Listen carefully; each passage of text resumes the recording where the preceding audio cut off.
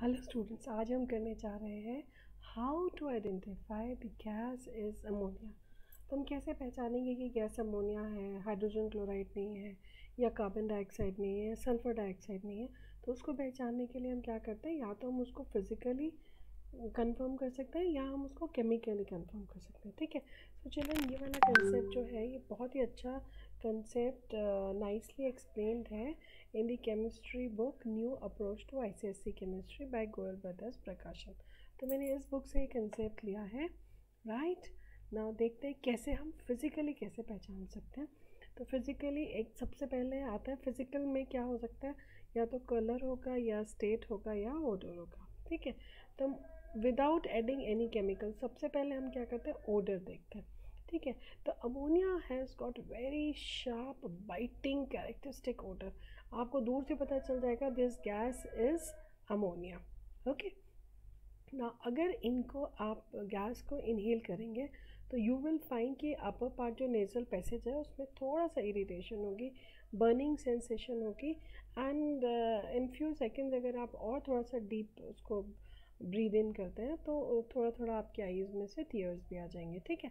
But it has got a very sharp biting characteristic odour है, जो आपको एकदम से पता चल जाएगी। एक अमोनिया की होती है ऐसी चिल्ड्रन एक हाइड्रोजन सल्फाइड गैस की भी होती है। वो तो बिल्कुल होती है सड़े हुए अंडे रॉटन एग लाइक स्मेल ठीक है?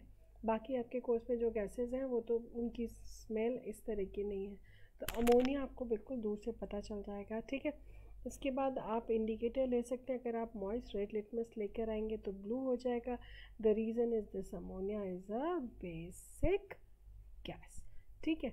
अगर हम लिटमस पेपर नहीं लाते हैं तो हम लिटमस सोल्यूशन ले सकते हैं। ठीक है? तो पेपर या solution both in both the cases blue colour का पेपर हो जाएगा या सोल्यूशन ब्लू हो जाएगा। ठीक है? ना फिनॉप्थलीन हमारा इंडिकेटर है जो एक बेस इंडिकेटर है।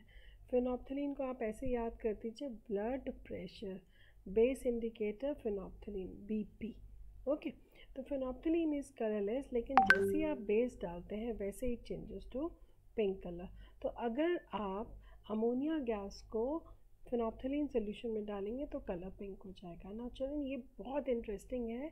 मैं आपको एक टिप देती हूँ. देखिए, आप ये लैब में ट्राई कर सकते हैं बट ऑफकोर्स टीचर को शेयर करिएगा, फिर करिएगा टीचर को टीचर को बताकर फिर कीजिएगा तो इसमें क्या कर सकते हैं आप? ये इनविजिबल लिंक बन जाएगी आपकी। इनविजिबल लिंक मतलब क्या है कि आपने जनरली होली पे लोग कर सकते हैं। आपको क्या करना है? कलरलेस सोल्यूशन फिनॉप्थलीन का लेना है। उसके अंदर आप अमोनिया आपका पास जो लिक्विड अमोनिया लैब में होगी, वो थोड़ा सा डाल दीजिए। The moment you put pink colour हो जाएगा। इसके बाद आप किसी के कपड़ों पे हैंकी पे, कहीं पे भी डाल दीजिए। तो उसकी शर्ट इनिशियली कैसी हो जाएगी? पिंक कलर की। लेकिन you know ammonia is a gas gas वहाँ से निकल जाएगी इवेपोरेट हो जाएगी वेपराइज हो जाएगी। और फिर क्या होगा? आपके पास वापस कलरलेस सोल्यूशन हो जाएगा। तो दिस वॉज़ वेरी इंटरेस्टिंग ठीक है? अच्छा नेक्स्ट हम करते हैं थर्ड हमारा मिथाइल ऑरेंज जो है, ये हमारा एसिड इंडिकेटर है। ठीक है? लेकिन अगर हम मिथाइल ऑरेंज को लेते हैं तो हमारा सोल्यूशन अमोनिया के प्रेजेंस में येलो कलर का हो जाएगा। और अगर हमने टर्मरिक पेपर लिया है या टर्मरिक सोल्यूशन लिया है सोल्यूशन को टर्मरिक पेस्ट में लगाया है तो then ammonia will change to brown colour तो ये सब केमिकल्स जो है, ये हम फिज़िकली मतलब डिप कर रहे हैं, पर केमिकली ये रिएक्ट नहीं कर रहा है। तो ये on the basis of physical properties है हाउ टू आइडेंटिफाई अमोनिया अब अमोनिया को हम आइडेंटिफाई करते हैं केमिकल प्रॉपर्टी के थ्रू मतलब कोई केमिकल डालते हैं।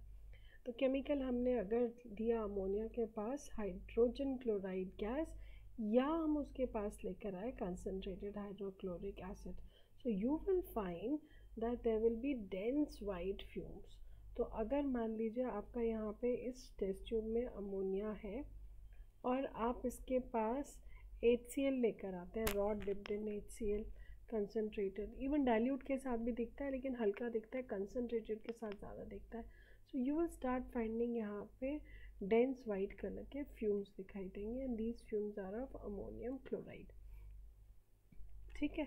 और अगर ये रॉड थोड़ी सी अंदर ले जाएँगे तो आप यहाँ देखेंगे कि sides of the test tube में अमोनियम क्लोराइड जो है वो डिपॉजिट हो गया. Why because ammonium chloride is a sublime solid sublime solid का मतलब क्या है? सबलाइम सॉलिड का मतलब है कि ये सॉलिड जब ज़रा सा भी हीट करेंगे तो सीधे वेपर बनाएगा ओके राइट कूल करेंगे तो वापस सॉलिड बन जाएगा। तो क्या नहीं आया इसमें? यस yes, इसके अंदर नहीं आया तो लिक्विड स्टेट इसने लिक्विड स्टेट को मिस कर दिया okay hence it is sublime solid चलो रिवर्स ऑफ़ सब्लिमेशन क्या होता है? We call reverse of sublimation as sublimation we also call this as deposition okay चलिए नेक्स्ट बहुत इंटरेस्टिंग टेस्ट है। ये तो बहुत ही अच्छा है और ये आपके कोर्स में इस पर क्वेश्चन भी बहुत आते हैं। काउंसिल का फेवरेट है।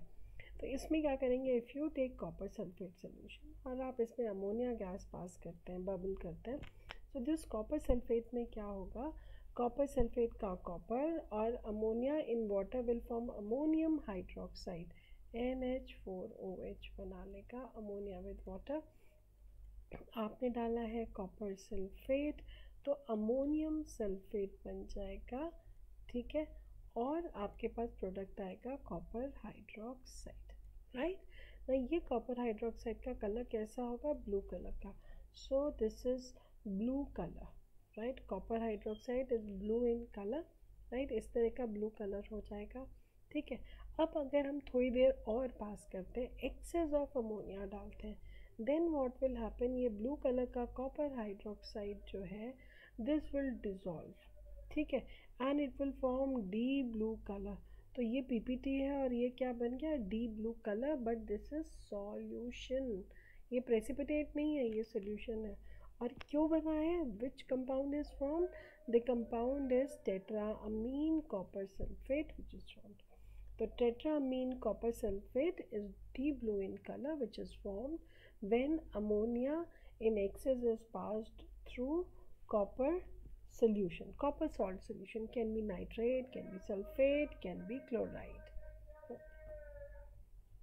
now another interesting thing is ये वाला टेस्ट आप थोड़ा हाई लेवल पे करेंगे आप ट्वेल्थ में करेंगे एलेवेंथ में करेंगे ठीक है एंड uh, आप चाहें तो इसको यहाँ पे भी नोट कर सकते हैं that is if you take Nessler's reagent तो नेस्लर्स रिएजेंट क्या होता है? It is potassium mercury iodide Nessler's reagent में जैसे ही आप अमोनिया गैस डालते हैं it changes to brown precipitate तो ये क्या है? आपने केमिकल डाला नेस्लर रिएजेंट आपने केमिकल डाला कॉपर सल्फेट आपने केमिकल डाला एच सी एल तो in all these three cases हमारी जो अमोनिया गैस है, वो रिएक्ट करती है और केमिकली हमको एक ऑब्जर्वेशन दे देती है, जिससे हम कंफर्म कर देते हैं दैट गैस इज़ अमोनिया हाँ भाई, ये अमोनिया है, कोई और गैस नहीं है। है ना इंटरेस्टिंग चलिए इसको अच्छे से प्रैक्टिस कर लीजिएगा। स्पेशली आप ये वाला पार्ट तो कॉपर सल्फेट के साथ अच्छे से कर लीजिए, क्योंकि बोर्ड में तो ये अक्सर आता है। ओके चलिए। Thank you